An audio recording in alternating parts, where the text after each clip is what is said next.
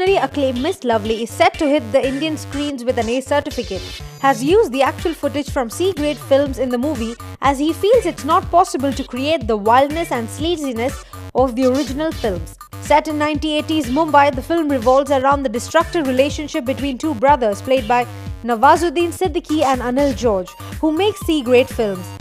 Instead of trying to recreate these sexy horror films, I just felt it would be more authentic and genuine to use footage from real C-grade films in front of those eras. Ahluwalia said in a statement, It's almost impossible to recreate the weirdness, wildness and sleaziness of the original films he added. Ahluwalia spent a lot of time researching on the horror porn industry in Mumbai. So I managed to talk to the producers and directors to let me use portions of their old films.